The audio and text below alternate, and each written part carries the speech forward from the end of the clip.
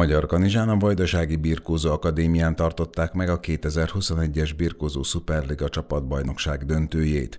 A címvédő Proleter, a Spartacus, a Belgrádi Partizán és a Zenta küzdött meg a bajnoki titulosért. Örülök, hogy bajnokok lettünk, de még jobban örülök, hogy ez Kanizsán sikerült, hogy Kanizsán rendezték még a versenyt.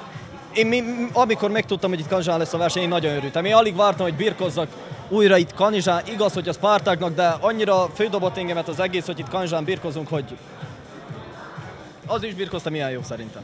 Elismerően nyilatkozott a döntőről Nemes Máté is, aki Nagy Sebastiánnal lépett szőnyegre.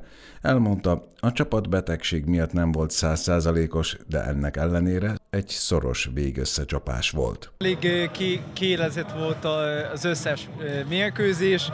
87 kilóba úgy, úgymond akkor lehetett van 4-4, de az, az se felett volna meg nekünk, mert nekünk nem volt túlgyőzelmünk.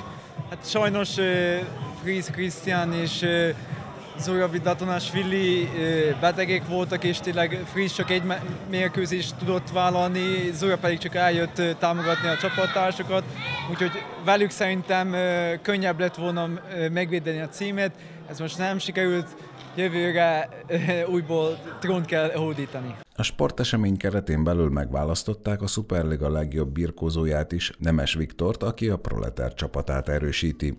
A legjobb edző Stojan Stefanek, a Spartak edzője bizonyult, míg a legjobb fiatal birkozó titulusának járó díjat Ilic Alexa a belgrádi Radnicski csapatából érdemelte ki.